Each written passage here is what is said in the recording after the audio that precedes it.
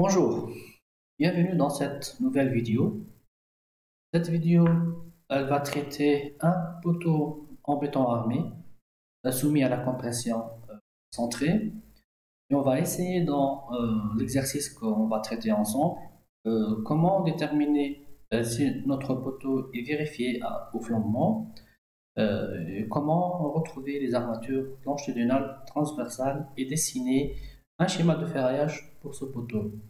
La, réglementation qu'on va utiliser pour la vérification et le calcul euh, de ce poteau, c'est l'Eurocode 2. Et euh, il y a d'autres méthodes pour le calcul de ce, poteau, mais on va juste euh, voir la méthode exposée dans l'Eurocode 2, ou bien selon la réglementation Eurocode 2 pour cet exercice. Donc le poteau est le suivant. Donc vous voyez ici l'énoncé de l'exercice. Donc vérifier et calculer le ferraillage le transversal du poteau. Donc nous avons ici la section transversale de notre poteau. Il y a deux dimensions, 25-40. Donc c'est un poteau rectangulaire, pas carré. Et en élévation, nous avons ici notre poteau en bleu en élévation et ce poteau et ce poteau il est et ce poteau il est, il, a les liaisons ou bien il, est, il y a une dalle à l'extrémité supérieure et notre dalle à l'extrémité inférieure donc c'est un poteau qui est un poteau intermédiaire. Euh, la dalle supérieure, elle fait 20 cm. Elle est sur une poutre. La poutre, la hauteur totale de la poutre est de 60 euh, cm.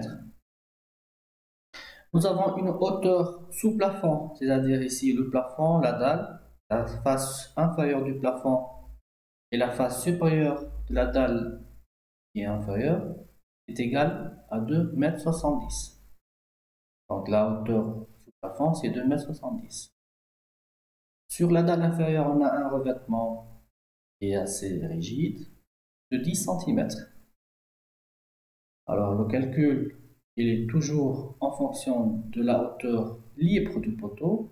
Donc on va prendre la hauteur libre du poteau entre la face inférieure de la poutre et la face supérieure du revêtement qui consiste à déterminer cette euh, hauteur en retranchant de la hauteur sous plafond, qui est de 2,70 m, l'épaisseur du revêtement et la retombée de la poutre. La poutre, elle fait 60 cm, donc la retombée, c'est de 40 cm. Euh, c'est pour cela que L, ici, c'est 2,70 m, et on va enlever la retombée de la poutre, 40 cm, et là, le revêtement plutôt, c'est 0,1. Donc, euh, on va enlever 50 cm de la hauteur sous plafond. Et de cette fois-ci, on retourne 2 mètres 20. 2 mètres 20.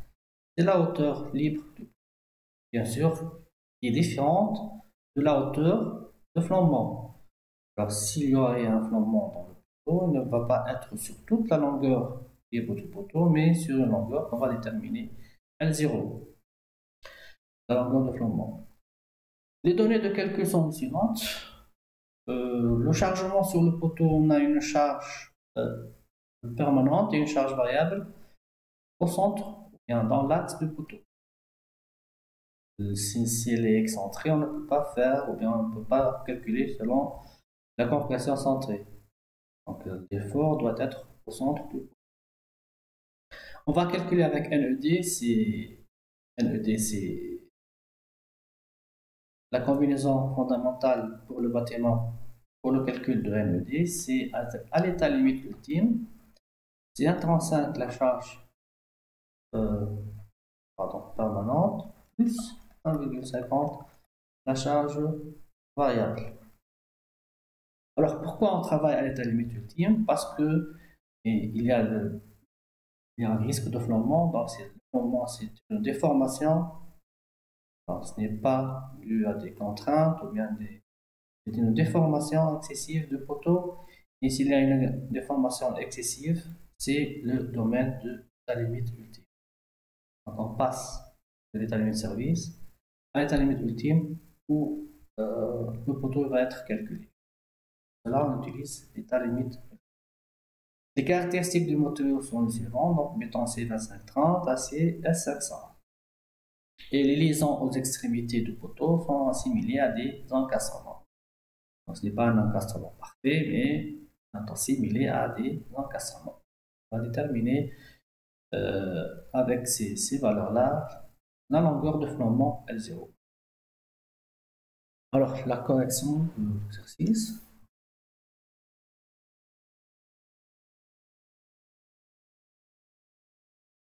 Donc, premièrement, on va déterminer les caractéristiques des matériaux. Donc, c'est un travail à faire pour tout le calcul de béton. Mais on commence par le béton. Alors, le béton est de classe C 25 à 30. Donc, la résistance euh, de béton, c'est pour concrete, c'est le béton.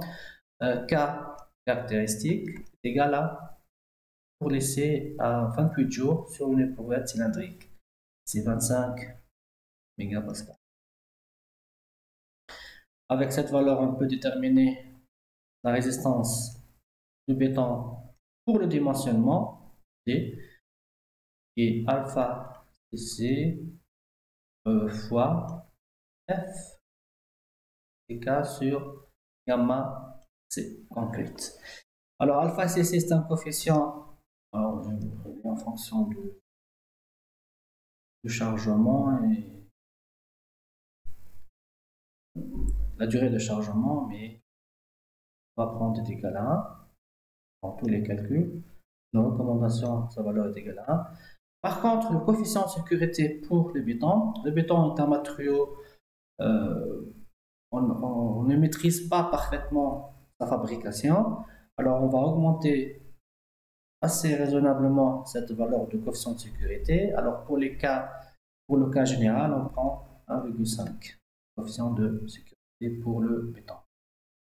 Et ça va me donner, pour un calcul avec 25 mégapascal, la distance de calcul, c'est 1 25 sur 1,5 égale à 16,7 mégapascal.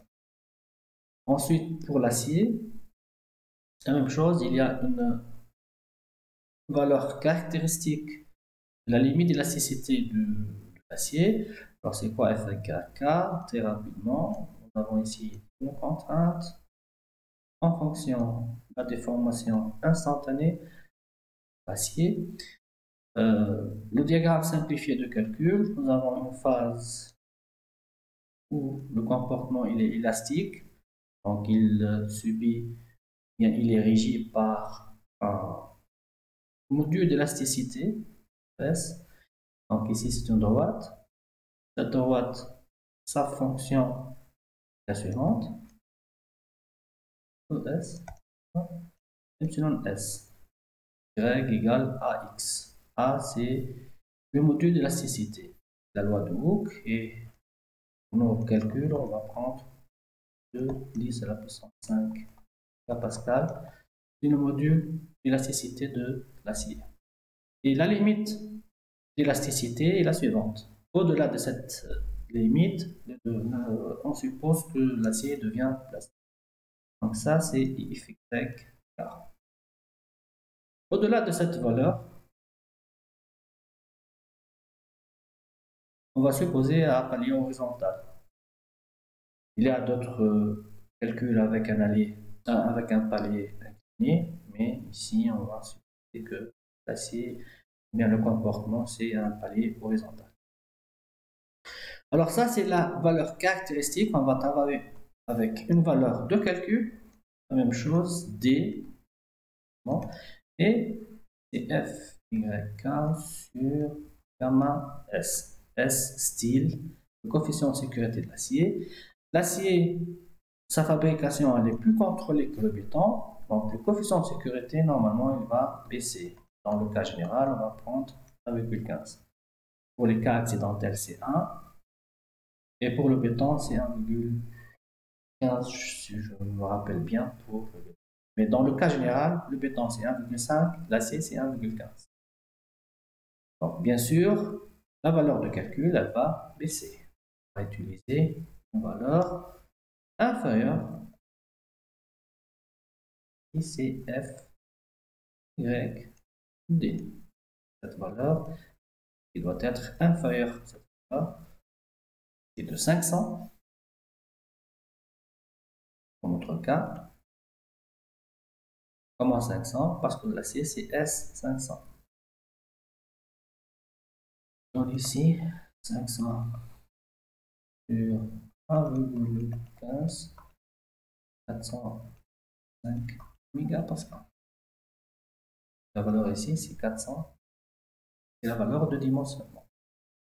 Bien sûr, euh, le diagramme qu'on va utiliser pour le dimensionnement de l'acier ce sera le suivant. On ne va pas utiliser euh, le diagramme euh, le diagramme caractéristique.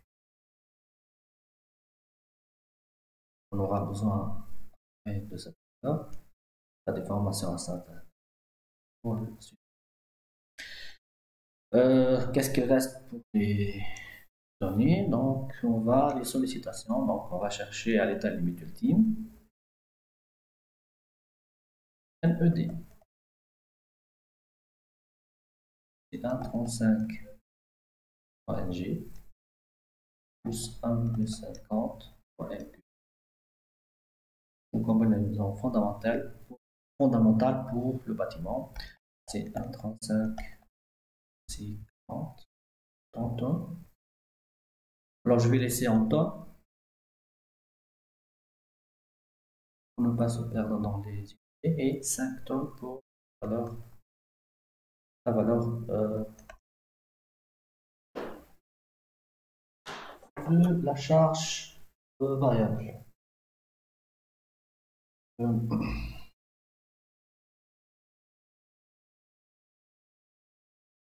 48 tonnes. Alors 48 tonnes, c'est à peu près euh, 0,48 méganewtons. 0,48 méganewtons. Alors, je précise que le méganewton il est assez grand. Un méganewton c'est 100 tonnes. Alors toujours il faut laisser 4 chiffres. Alors même il y a des zéros, donc on va les laisser 4800 méganewtons. Voilà les données. Maintenant, on commence par la vérification si on peut calculer ce poteau à la compression simple. Il n'y a pas de risque de flambement. Il y a des désordres de ce pour ce poteau. Pour cela, premièrement, on doit vérifier que le flambement l'élancement plutôt du poteau doit rester inférieur à une valeur limite qu'on va calculer par la suite.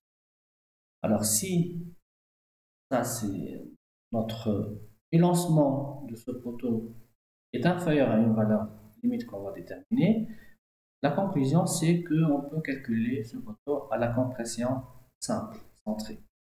Sinon, il faudra passer par d'autres méthodes alors, comment calculer lambda et lambda limite Voici comment déterminer les lancements de notre poteau. Et lancement lambda. Euh, la formule est la suivante. Pour une section rectangulaire, section rectangulaire, lambda, c'est euh, L0 est la longueur de flambement racine de 12 sur B. L0 c'est la longueur de flambement.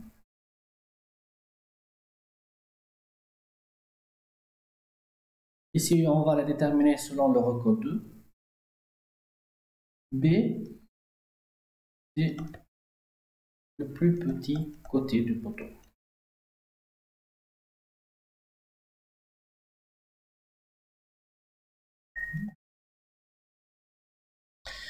Notre poteau, est de section rectangulaire.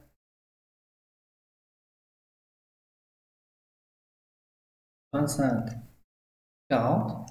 Donc 25 c'est B et 40 c'est H. Donc B à 25 cm. Euh, le calcul de L0 tout d'abord. C'est quoi L0 Alors L0 c'est 0,5 fois L fois euh, un calcul qu'on va, qui va dépendre des, liaisons aux extrémités. 1 plus 1 sur 0,45 pour K1, la liaison entre le poteau et la dalle supérieure, multiplié 1 plus K2 sur 0,45 K2. Dans l'énoncé, on a assimilé un désencastrement de liaison avec la dalle inférieure et la dalle supérieure. Donc, la dalle inférieure K1, la dalle supérieure K2. La recommandation est de prendre K1 est égal à K2 est égal à 0,1. Ça, c'est pour le calcul de la hauteur de flanc, longueur de flanc. L, on l'a déjà déterminé, c'est de 2 mètres 20. Hein, ça sera 0,5 fois 2 mètres 20, donc je vais laisser en mètres. Euh, donc K égale à K2, donc c'est tout simplement quoi 1 plus 0,1 fois 0,45 fois 0,1. Donc c'est la même, k1 égale à 4. Racine carré ou 2 carré, ça devient. Et le calcul va me donner L0 égale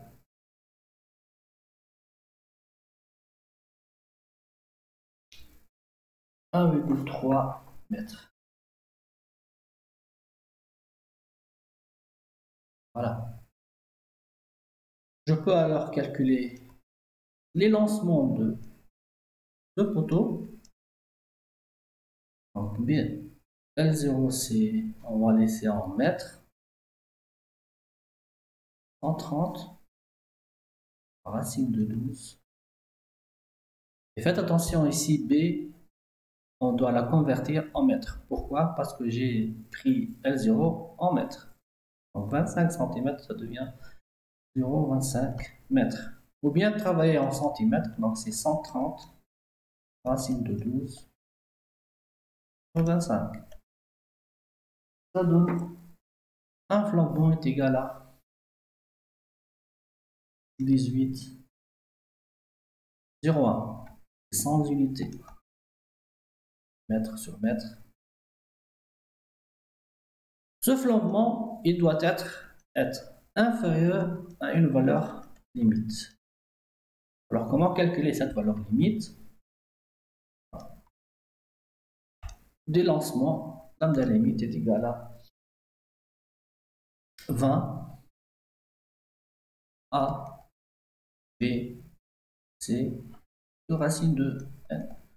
Donc, on a vu ceci dans le cours, les coefficients A, B, C et n on va les déterminer par la suite.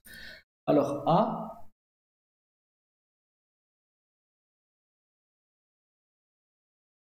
c'est 1 sur 1 plus 0,2 fois phi f EF. Alors c'est quoi phi EF C'est un coefficient euh, c'est un coefficient en fonction du fluage effectif. Alors si je ne connais pas la valeur de phi f, elle n'est pas donnée dans le calcul, je ne sais rien sur la valeur de, de ce coefficient de fluage, fluage effectif. Et si je ne connais pas, donc phi f inconnu,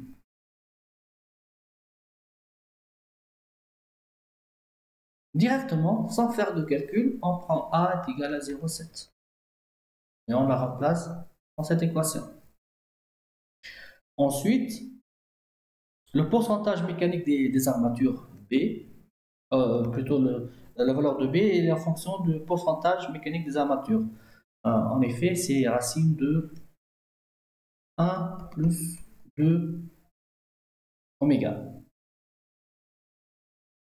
Oméga, c'est pourcentage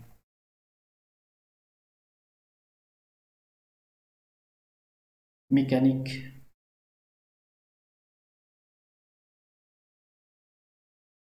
d'armature.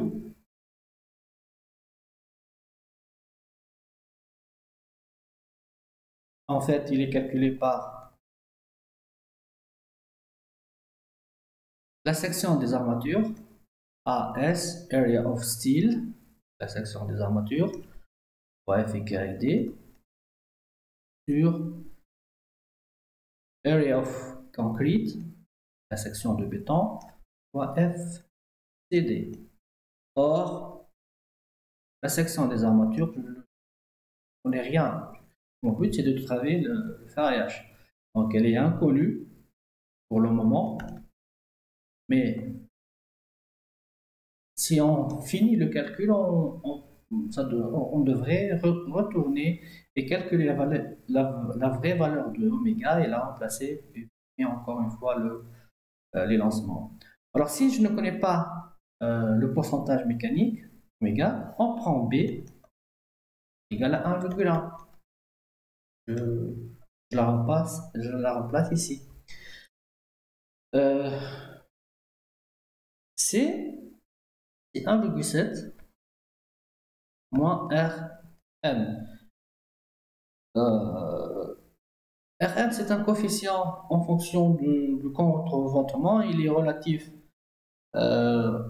au moment, du, au moment du, premier ordre. Alors, je, je n'ai aucune idée sur Rm. Donc, Rm inconnu pour le moment.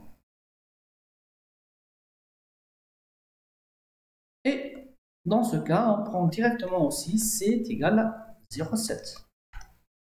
Donc le recode me donne ces valeurs si je ne connais pas ces coefficients.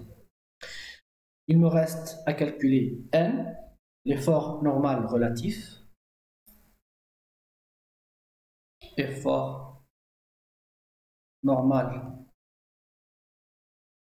relatif. Cet effort normal relatif, il est calculé par l'effort appliqué au centre du poteau pour la section de béton fois FC. Je vais faire le calcul. Je vais laisser en méganewton. Donc c'est NED c'est 0 4800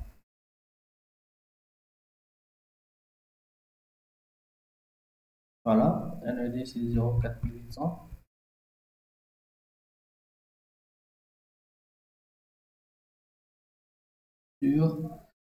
Euh, alors, pour ne pas se perdre dans les unités, toujours moi je mets mégapascal est égal méganewton et mètre carré. Donc toutes les valeurs, je vais les convertir soit les, forces ou bien les charges en méganewton, les contraintes en mégapascal, les sections en mètres carrés, ou bien les longueurs en mètres carrés. ici, c'est bon, elle est méganewton.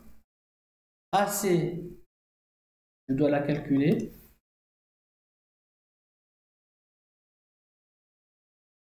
Donc c'est B fois H, c'est la section de béton, area of concrete, donc c'est 0,25 fois 0,40.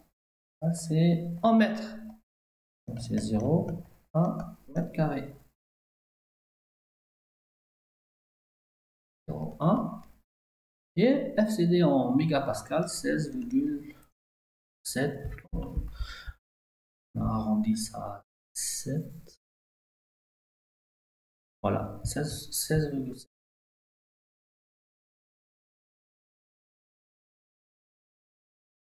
Ça donne 0 1874. 1874. 100 unités. Sa racine carrée, c'est 0.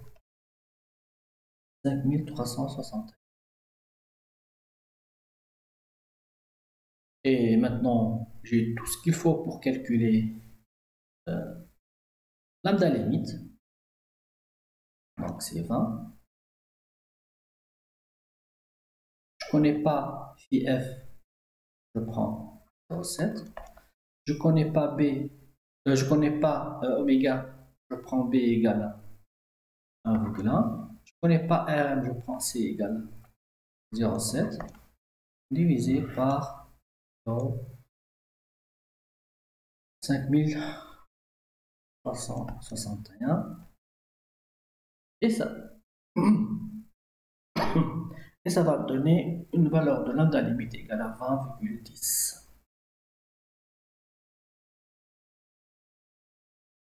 voilà lambda c'est 18 et lambda limite c'est 20,10 notre conclusion lambda, c'est 18, 0,1. Lambda limite, il ne faut pas dépasser égal à 20, 10. Notre lancement, notre poteau, il vérifie, ou bien, les lancements, il est vérifié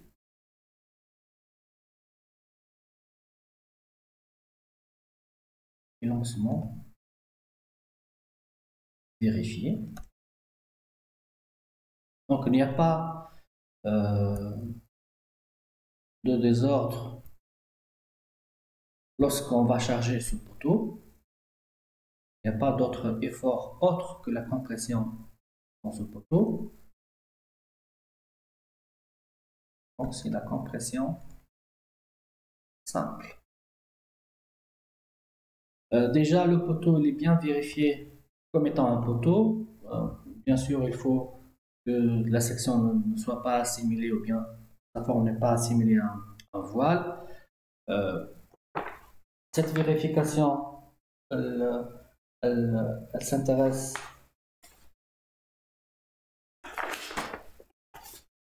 à H et B. Donc H doit être inférieur à 4 B. Et le rapport de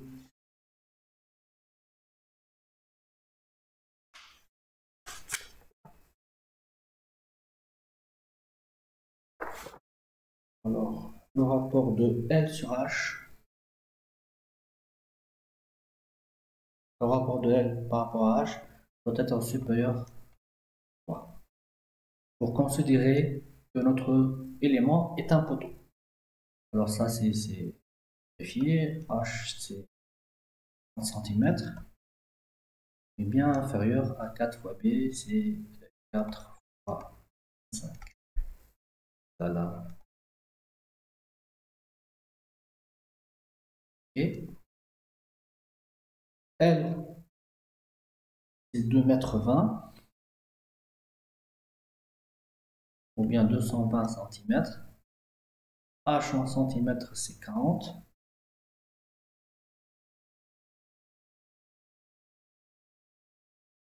Alors, c'est 3.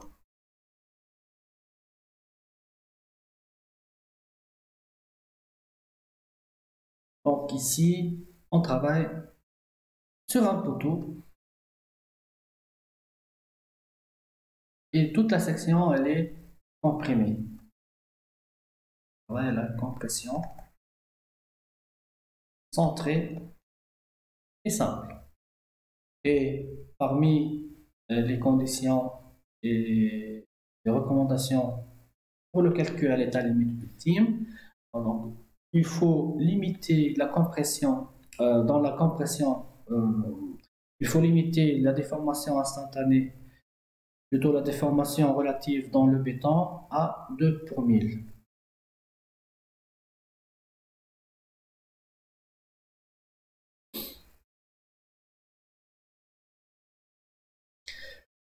C'est une euh, section entièrement comprimée, donc la déformation ne doit pas dépasser 2 pour 1000. Alors si c'est vrai pour le béton, aussi l'acier ne doit pas dépasser 2 pour 1000. Et avec cette valeur, on va déterminer la contrainte de calcul de l'acier, la contrainte avec laquelle on va calculer sa monture. Alors pourquoi? Parce que dans le diagramme que j'ai dessiné tout à l'heure, on va travailler avec la valeur F.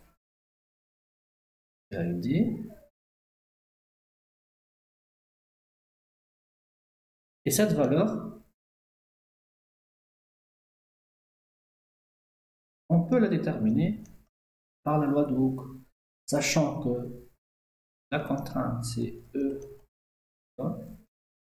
Donc, epsilon de la déformation, c'est la contrainte sur le module de déformation. Or, je connais le, module de formation de l'acier, je connais cette valeur, on l'a déjà calculé, c'est 435 ici, et ici c'est 2 10 à la puissance 5 par méga pascal. Méga. Donc cette valeur ici, c'est tout simplement la contrainte 405 sur 2 10 à la puissance 5, ça doit être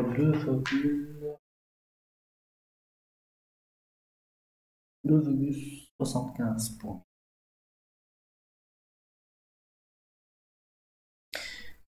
Ça, c'est 2,75 au 1000. La limite de déformation, elle est à 2 pour 1000. Donc elle est inférieure. Donc nous sommes dans cette zone. Voilà. Donc on ne va pas avoir une déformation inférieure à 2 pour 1000. Ça c'est 2 pour 1000. Donc notre contrainte de calcul pour l'acier, on va déterminer, elle est en fonction de cette valeur de 2 pour 1000. Donc la contrainte de calcul, dans ce cas, contrainte, ça sera la déformation, ou bien ça sera le module d'élasticité, fois cette valeur de 2 pour 1000. Donc c'est tout simplement 2, 10, 5, fois 2, 10, alors pour 1000 c'est moins 3. Ça donne 400 mégapascal. La contrainte de calcul de farage. Si la déformation est supérieure à 2,75 dans la valeur, donc ça sera F égale D, 435. Mais nous, nous sommes au-dessous de 2,75, nous sommes à 2 pour 1000 seulement. Donc la contrainte, c'est 400 mégapascal. Donc voilà le calcul de, de ferrage maintenant.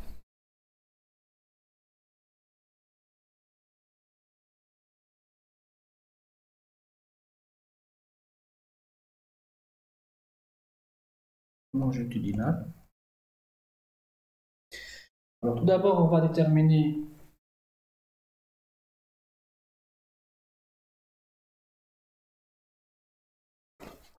le béton, combien il va supporter de chargement, quelle est la valeur de chargement que peut supporter euh, ce poteau avec une section de 25 x 40 cm. Et ensuite, on va retrouver la part de l'acier, combien cet acier va supporter de ce chargement? Donc le béton équilibre valeur, une force FC, force of concrete, qui est égale tout simplement, donc nous avons une section de béton,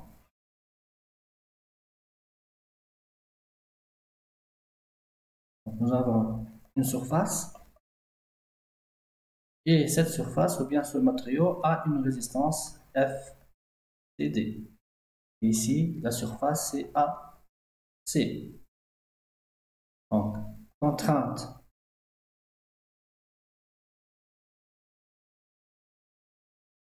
égale à force sur face. Nous, on cherche la force, combien cette section de béton peut supporter? Donc la force, ça sera tout simplement la contrainte. Fois la surface. Donc ça sera AC fois FCD. Et B fois H FCD. Et serait la C. La plus petite c'est euh, B. La plus grande c'est H. Toujours travailler avec mètre, mètre carré, méganewton et mégapascal. Donc c'est 0,25 fois 0,4 fois 16,7. Donc 0,1 fois 16,7 c'est 1,67 méganewton. 0. Soit 167 tonnes.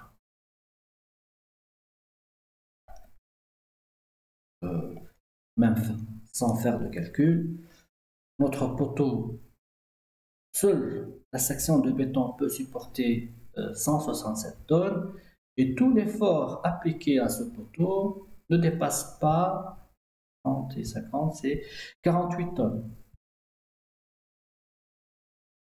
Normalement, on doit trouver que seule la section de béton peut supporter.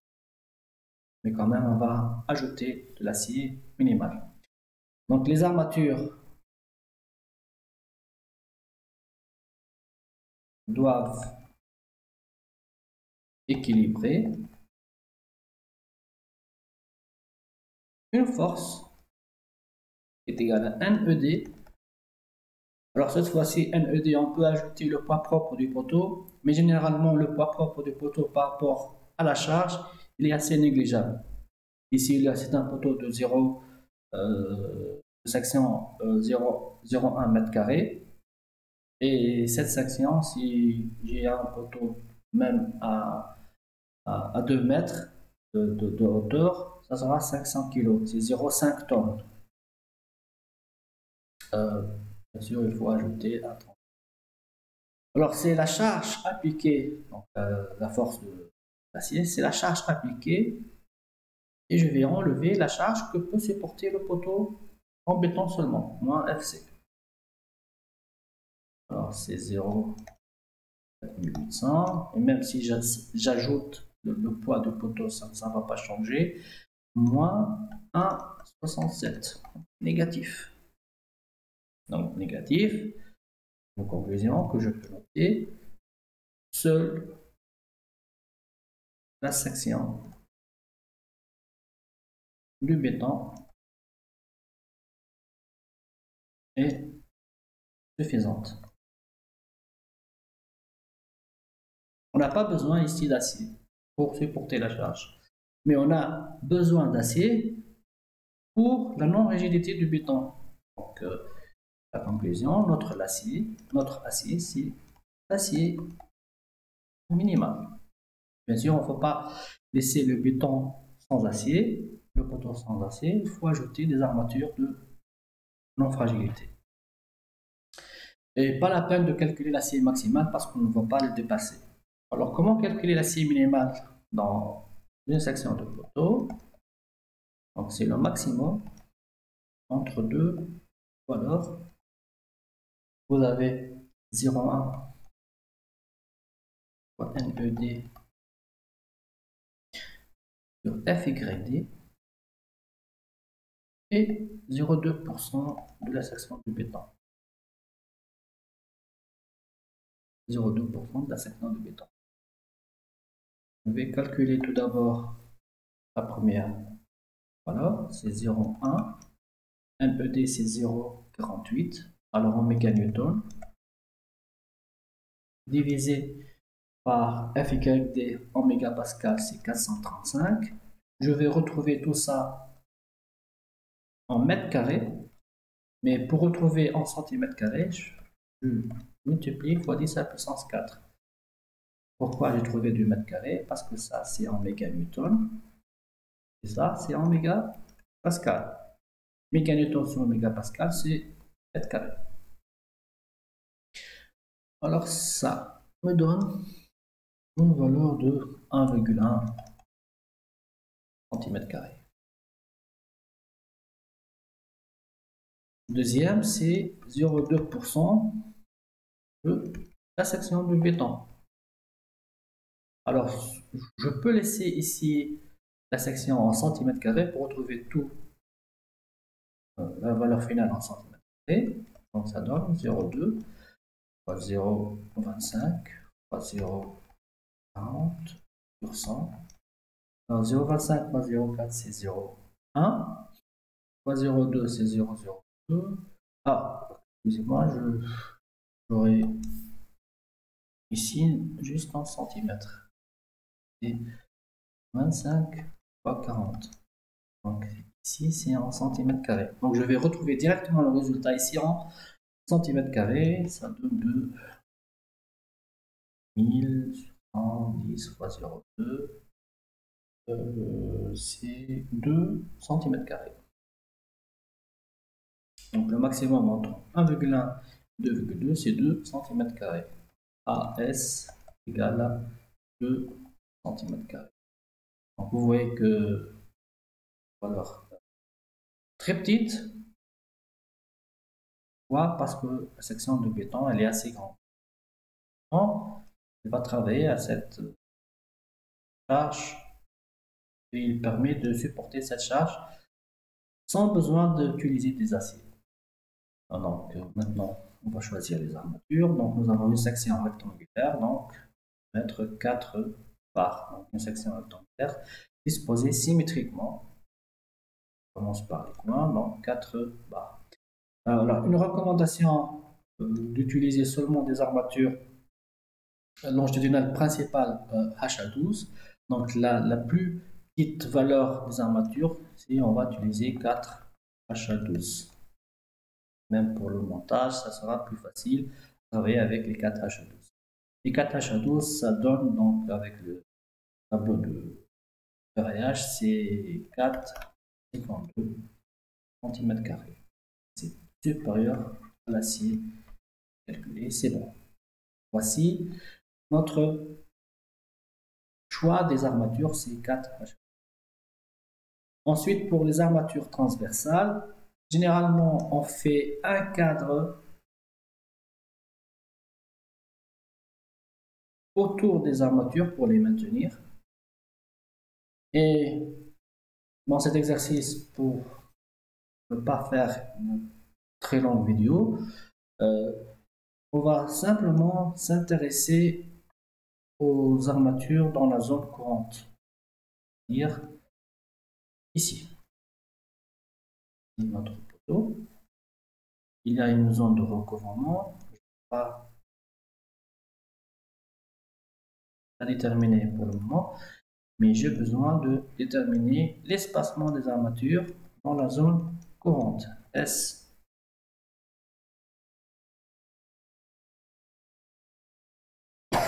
C, T. Transversal. Alors, euh, tout d'abord, c'est quoi le choix qu'on va faire pour les armatures transversales? Le choix, c'est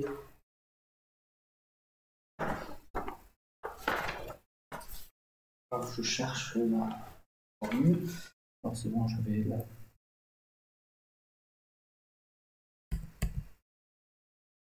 Là l'insérer directement ici, c'est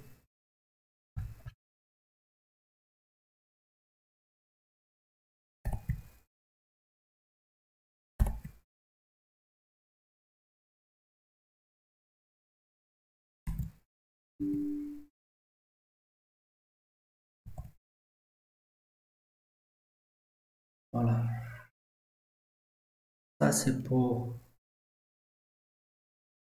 euh, le choix de diamètre des armatures transversales. Ensuite, on aura besoin de calculer ou bien de retrouver l'espacement. Alors, la même chose.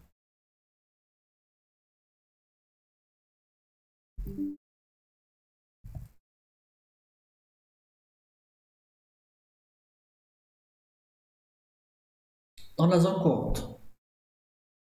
Alors, qu'est-ce que ça donne ici? Phi L. Phi L max, je vais utiliser seulement des armatures HA12, donc c'est 12 sur 4 égal à 3 mm. Donc, euh, on va utiliser de rond lisse Phi 6. Et c'est un cadre rond lisse Phi 6. Voilà, 6 mm on n'a pas euh, HA6, donc on a dirham 10. Et pour l'espacement, alors c'est max 20 fois phi L min, donc c'est 20 fois 1, 2. C'est 24 cm. Ici, c'est cm. 24 cm. Ou bien, pour euh, avoir les mêmes unités. Donc j'utilise les millimètres, donc c'est 12. Et ça devient ici 240 mm. B c'est 250 mm et 400 mm. Donc la valeur minimale c'est celle-ci. Donc l'espacement entre deux cadres successifs fait de 24 cm dans la zone courante. Donc voici, ça c'est le schéma d'une section transversale. 5. 40 cm. Et ici, en zone courante, l'espacement des armatures. Donc voilà. Euh, pour compléter le calcul, si on a trouvé la section des armatures on peut revenir et vérifier encore une fois le flambement, lancement plutôt. Pourquoi? Parce que au début, on a supposé qu'on on, ne connaît pas AS. Alors voilà la, formule, on peut faire le calcul. Donc on peut déterminer maintenant oméga, le pourcentage mécanique réel, en remplaçant AS par sa valeur. Ensuite, la remplacer dans cette formule pour calcul de B et calculer une autre fois lambda limite. Et normalement, on doit trouver aussi une valeur qui est euh, supérieure à notre financement. Parce que l'effort n'est pas assez grand. Sur le poteau, on aura lambda inférieur à lambda limite. Donc on peut faire cette vérification encore une fois. Vous le voulez et vous allez vérifier. Donc sinon, voilà, euh, je ne pas, je n'ai pas voulu faire une très grande, euh, très longue euh, vidéo. Je vais laisser le temps pour faire une autre vidéo pour le calcul d'une section de poutre en, flexion simple. Ça sera l'objet d'une seconde vidéo que je vais faire aujourd'hui. Euh, n'hésitez pas sur Classroom de me donner, de poser ou bien de, poser de vos questions si on n'avait pas compris quelque chose. Euh, je vous invite à lire euh, convenablement et très attentivement l'énoncé de votre examen. S'il n'y a pas de données, bien, si, vous, jugez qu'une donnée n'est pas à donner, vous pouvez supposer euh, cette valeur et continuer le calcul. pas, la peine de, la euh, rester et d'attendre de euh, ou bien d'être bloqué par une valeur. Donc, vous pouvez supposer une valeur et continuer le calcul. voilà, les documents sont autorisés, donc essayez de Euh, je, vais, euh, je vais partager aussi ce, document de travail dans le Classroom et euh, vous pouvez suivre ce, document de travail. Voilà, merci pour votre attention, merci de votre attention. bonne continuation et à très bientôt.